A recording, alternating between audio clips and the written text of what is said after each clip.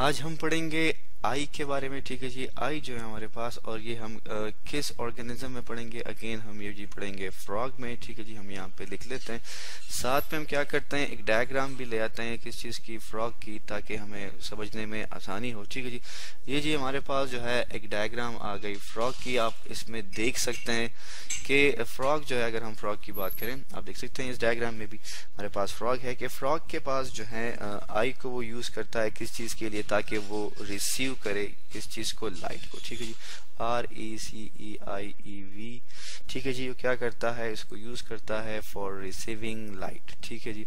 Light को receive करने के लिए या डिटेक्ट करने के लिए आई का स्ट्रक्चर जो है वो यूज़ करता है। फ्रॉग इसी तरह हम ये कह सकते हैं कि ये इसके सेंस ऑफ़ साइट जो है वो किसके थ्रू है? वो आईज के थ्रू है या आई के थ्रू है? अगर हम आई की बात करें तो हम ये कहते हैं कि फ्रॉग के पास जो है टू आईज हैं। ठीक है जी, दो आँखें हैं। आप इस डायग्राम में भी देख सकते हैं।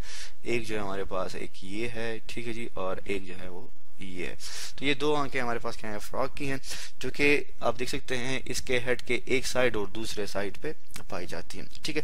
अगर हम इस आई का क्रॉस सेक्शनल एरिया लेते हैं, ठीक है जी, अगर हम आई निकाल लेते हैं बाहर और हम स्टडी करते हैं कि इसमें हमारे पास कौन कौन से फर्दर मजीद जो है हमारे पास इसके पास, इसके जो पार्ट्स मौजूद हैं।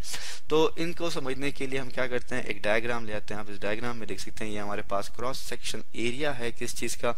ये जी है हमारे पास आई का क्रॉस सेक्शनल एरिया है। ठीक है जी, अब हम आगे बढ़ते हैं और देखते हैं कि इसमें हमारे पास कौन कौन सी चीज़ें मौजूद हैं। तो सबसे पहले हम शुरू करेंगे किस चीज़ से जी? हमारे पास एक लेबल डायग्राम है। सबसे पहले हम शुरू करते हैं रेटिना से। ठीक है जी रेटिना जो है हमारे पास ये क्या है? ये सेंसरी है किस चीज़ में? इन फ़ंक्शन में। ठीक है, जितनी भी इमेजेस बनते हैं वो इस रेटिना पे बनते हैं। इसके बाद जो है, इस रेटिना में हमारे पास क्या होते हैं? इन रेटिना में हमारे पास होते हैं फ़ोटो रिसेप्टर सेल्स होते हैं। हम यहाँ लिख लेते हैं that is photo receptor R E C E P T O R photo receptor cells होते हैं ठीक है जी? आ, ये हमारे पास किसमें होते हैं? रेटिना रेटिना के बाहर अगर हम देखें तो आपको ये मोटी सी लाइन नज़र आ रही है ठीक है जी? जिसको हम किसी और कलर से कर लेते हैं, ठीक है? ये जो मोटी सी कलर जो हमने लाइन ड्रॉ की है, ये क्या है? जी, ये हमारे पास ये हमारे पास कहलाती है that is known as a choroid ये हमारे पास क्या है? ये हमारे पास कोराइड है। कोराइड जो है ये क्या है? इसमें हमारे पास मौजूद होते हैं ब्लड की कैपेलरीज ठीक है जी? हम यहाँ लिख लेते हैं कि इसमें क्या मौजूद है हमारे पास? इसमें हमारे पास होते हैं ब्लड कैपेलरीज और ये न्यूट्रिएंट प्रोवाइड करता है किस चीज़ को? रेटिना को ठीक है जी? इसमें हमारे पास क्या है? ब्लड कैपेलरीज हैं। कैपेलरीज की स्पेलिंग जो है हम आ, लिख लेते हैं दैट इज़ कैपेलरीज ठीक है जी? इसी तरह इसके बाद जो हमारे पास है, जो कि बाहर की लाइन बन जाती है, उसको भी हम दूसरे कलर के साथ कर देते हैं ताकि हमें समझने में आसानी हो। ये जो लाइन आपको नज़र आ रही है, जो कि यहाँ से होती हुई कंप्लीट जा रही है, इसको हम क्या इसको इसको हम कहते हैं that is known as a sclerotic इसे हम क्या कहते हैं? इसे हम स्क्लेरोटिक कहते हैं। ठीक है जी? तो स्क्लेरोटिक जो है, ये क्या होती है? ये हार्ड होती है। ठीक है जी? सख्त होती है और आई को क्या करती है? शेप देती है। ठीक है जी?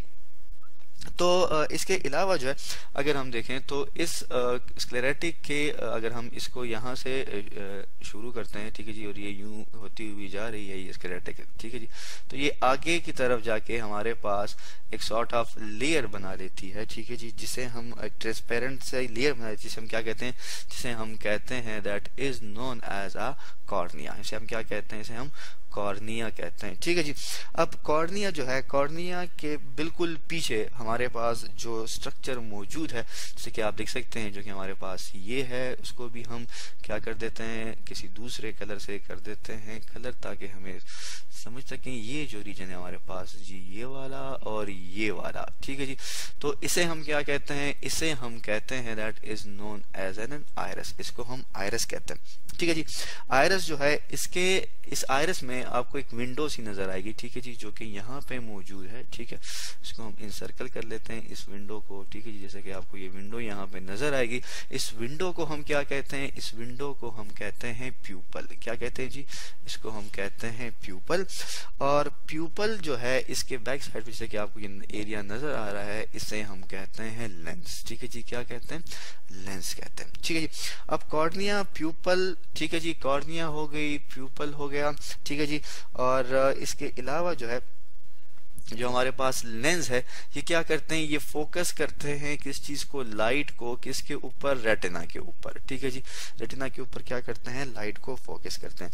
इसके अलावा जो है, हमारे पास एक सॉर्ट ऑफ़ लिड सी मौजूद होती है। ठीक है हम कहते हैं अपर लिड, जो कि हमारे पास यह है, और एक हमारे पास मौजूद है लोअर लिड। ठीक है जी? जो कि फ्रॉग के मतलब जब वो अपने आइस को बंद करना चाहता है, तब वो इस लेड को यूज़ करता है। ठीक है जी, इसको हम ये कलर कर लेते हैं। एक लेड हमारे पास ये है और दूसरी जो लेड है हमारे पास, जिसको हमने अपर लेड कहा था, वो हमारे पास ये है। ठीक है जी, इसके अलावा जो है हमारे पास सॉर्ट ऑफ़ एक लेयर सी बन जाती है, जिसे हम कहते हैं कंजक्टिवा ठीक है जी? कंजक्टिवा जो है, इसका अपना ही फ़ंक्शन है, ये आइस को मोस्टली मोइस्ट रखता है। और फिर हमारे पास इसमें दो वाटर के फ्लूड के स्ट्रक्चर आ जाते हैं। ठीक है जी? अब एक जो है हमारे पास, जिसे हम कहते हैं, जो कि एक वाटर फ्लूड है, जो कि मौजूद है कॉर्निया और लेंस के दरमियान जो मौजूद है, उसे हम क्या कहते हैं? उसे हम कहते हैं एक्वेस ह्यूमर कहते हैं। क्या कहते हैं? एक्वेस ह्यूमर कहते हैं। और एक वो है जो कि मौजूद है कहाँ पे? जो कि मौजूद है लेंस ठीक है जी? लेंस और रेटिना के दरमियान जो फ्लूड मौजूद है, उसे हम कहते हैं विर्चुअस ह्यूमर ठीक है जी? क्या कहते हैं? विर्चुअस ह्यूमर कहते हैं। तो ये हमारे पास क्या था? ये हमारे पास कंप्लीट स्ट्रक्चर था लाइट का सॉरी किसका? आई का। तो अब जब रेटना पे इमेज बन जाती है तो हमारे पास जो फ़ोटो रिसेप्टर सेल्स होते हैं, वो क्या करते हैं? वो उस लाइट को क्या जो हमारे पास लाइट है या इमेज की फॉर्मेशन कर देते हैं और फिर हमारे पास जी पाई जाती है लास्ट में, जिसे हम कहते हैं ऑप्टिक नर्व ठीक है जी? और ऑप्टिक नर्व फिर क्या करती है? ऑप्टिक नर्व जो है, वो इंफॉर्मेशन को लेके जाती है टूवर्ड्स द ब्रेन और ब्रेन पर डिटेक्ट करता है कि ये किस चीज़ की इमेज है।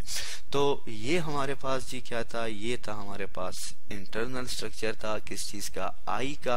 और ये हमारे पास किस ऑर्गेनिज्म में था?